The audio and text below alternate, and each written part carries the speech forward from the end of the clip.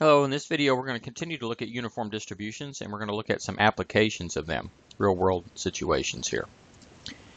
So here's an exercise. Suppose a bus company claims that its buses never uh, leave a stop before the scheduled time, but are sometimes late. They also claim that in the afternoon the amount that they leave late is uniformly distributed and the buses are never more than 10 minutes late. Let's assume that their claims are true. Obtain a formula and graph for the PDF for x equals the number of minutes the bus is late. What is the probability the bus leaves within 3 minutes of the scheduled time? Illustrate this probability on the graph of the PDF. And what's the probability the bus will be more than 6 minutes late? Illustrate this probability on a graph of the PDF. Okay, well, uh, by what they've said here, this is a uniform distribution, and it's uniform between 0 and 10. So 0 is here, 10 is here. Uh, this is somewhat reasonable. I mean, it's reasonable that this would would be 0 to the left of, of 0 because uh, if they if if it's uh, x is negative, that means they leave before they are scheduled. And it seems reasonable that if they just arrived early, they might just wait until the scheduled time to leave the stop. So that might be reasonable that, that it would be 0 there. Um, now, it's a little bit more suspect that they're never more than 10 minutes late and that this is uniform in between. But if we assume their claims are true, then the graph, PDF graph, is 0 to the left of 0, and uh, y is 0 to the where for x is less than 0. And if x is greater than 10, y is also 0 on the PDF graph. And in between, we have a horizontal line. Now, notice that that makes this rectangle here uh, have an area of 1 it has a width of 10, so it has a height of 1 tenth. 1 tenth times 10, base times height, uh, is uh, 1 for the area, which is the total probability. So the, the formula is PDF of x equals 1 tenth, or 0.1, for x is from 0 to 10, 0 otherwise, and there's the graph. This is for the PDF. So what's the probability that the bus leaves within three minutes of the scheduled time? That, that goes up to three minutes before the uh, scheduled time or up to three minutes after, which would be the probability that x is between negative 3 and 3. Uh, but x can't be less than 0 in this particular scenario. So this is the same as the probability that x is between 0 and 3. Okay, well, that's just the area of this rectangle here, which has a width of 3. 3 minus 0 is 3 and a height of 1 tenth, so that's just 3 tenths, 0.3, 30%. What's the probability the bus will be more than 6 minutes late? Well, that's from 6 up to 10, because they said you can't be more than 10 minutes late. There's no area out here to worry about. So it actually just stops at 10. So it's 6 to 10 here is our, is our base, which is a base of uh, 4. 10 minus 6 is 4. And again, it's a height of 1 tenth, so it's 4 times 1 tenth is 4 tenths, 0.4. 40% or a reduced fraction, that's 2 fifths. All right, let's do another example. An automated latte dispenser always dispenses between 7.8 fluid ounces and 8.2 fluid ounces.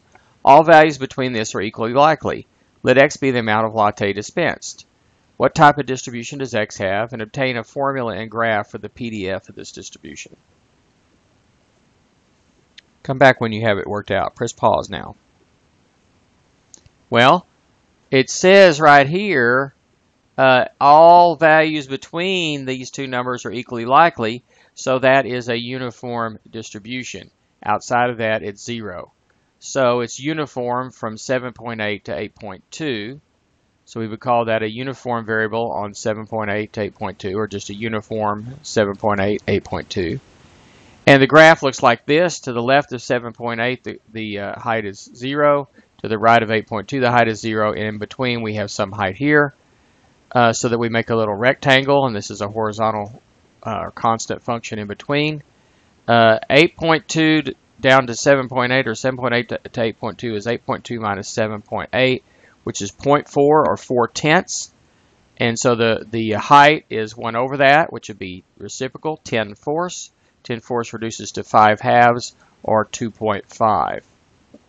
So either 5 halves in fraction or 2.5 in decimal. Generally speaking, it's better to use fractions here uh, because the fractions are going to be exact values and you don't want to round off in the middle of a calculation.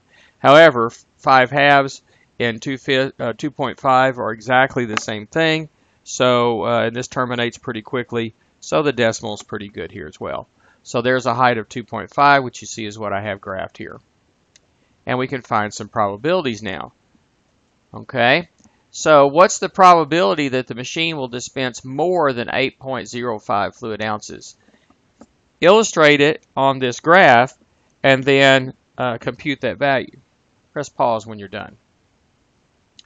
Well, what we're talking about here, when we have a PDF graph of any continuous distribution, we're talking about an area being a probability. So the area specifically that we're looking for here is the area of this shaded rectangle.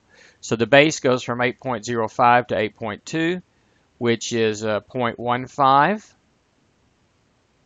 And its height is, again, uh, 2.5. So it's 0.15 times 2.5 is 0.375 or 3 eighths. 37.5% could be expressed in any of those forms. And we get that. Notice that basically each one of these little bars here, because the way I've got this set up, is 1 8. Um, from here to here is 0.05 from the 8.05 to 8.1 is 0.05, and the height is 2.5. 0.05 times 2.5 is 0.125, which is 1 8.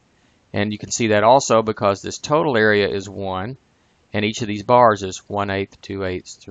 There's 1, 2, 3, 4, 5, 6, 7, 8 of those vertical strips. So each one of those is 1 8 of the total. So you can kind of see that as 1 8 pretty easily on this particular scale. So we see probability is area under the PDF graph. Okay, what about the probability it will dispense between 7.9 and 8.05? Well, now the now the rectangle goes from 7.9 to 8.05. Uh, still a total of 3 eighths for the entire uh, entire area because that rectangle and that one that we just had are the same size. They're the same width, and all those rectangles will be the same height for this particular distribution. And notice this is a special property of uniform distributions that any interval the same width will have the same probability for a specific uh, specific uh, uniform distribution. All right, let's try another one. this is a pretty realistic situation, I think. Um, a machine produces an 18-inch long metal cylindrical spindle. 1% of the time, the machine places a gouge in the spindle. This makes the spindle unusable for the original purpose. However, if there's a 15-inch section free of the gouge of gouges, the spindle can be cut back to 15 inches and used for another purpose. Otherwise, they might have to uh, maybe just melt the whole thing down and start over. Now assume that the location of the gouges are uniformly distributed through the length of the spindle. See if you can answer these questions. What is the probability of the machine producing a spindle that has a gouge? What's the probability of salvaging a 15-inch spindle given that the original spindle had a gouge? What's the probability of having a spindle that is totally unusable given that it has a gouge? And what's the probability of having a spindle that is unsalvageable? Okay, see if you can work out those. Think about this one for a little bit and then come back. Press pause now.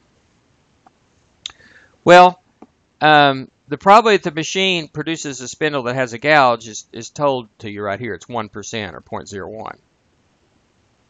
But, and then this, this, uh, the probability of uh, salvaging this, this is a conditional probability. So we know that it has a gouge, and we know that if it has a gouge, then the, the, the position of that gouge, say from the left end, is a uniform distribution. So uh, if we start at the left end, then the gouge could be anywhere from 0 to 18, which is the length of the uh, original spindle, and it could be anywhere along here. Now what I have shaded in red are the places that were within 3 inches of each end. Okay, so if it's within 3 inches of either end and it only has gouges in those sections, then we can cut it in such a way that, uh, well, if it only has one gouge in one of these regions, not both, but one of the regions, then we'll still have a total of at least 15 inches that we can cut and make a 15 inch section and salvage it. So to, to be salvaged, there must be the it must be in one of these shaded regions. So uh, since it's uniform, this goes from 0 to 18, so the height is 1 18th. Okay, and so the probability that we're in the first three uh, inches, okay, is going to be uh, 3 eighteenths. So it's 3 inches long here times 1 18th tall is 3 eighteenths.